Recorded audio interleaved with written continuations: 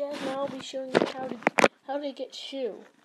And first, you have to go just right here, right the top right here. And yeah, we need to get emu4ios.net. So what we need to do is uh,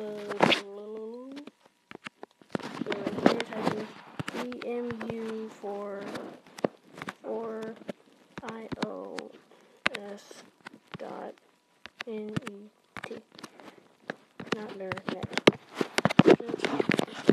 And then this one will be going up here.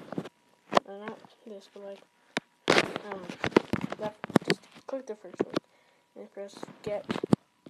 Press get. And then I'll, I'll, you need to press install, but I'll press cancel because I already have it. So, right here. This one. So, after you, you install it, then it'll have all this stuff, some reason iRec for me doesn't work, so I don't use it anymore. But I like it should. So I'm gonna press install and then confirm and then I press cancel because I already have shit.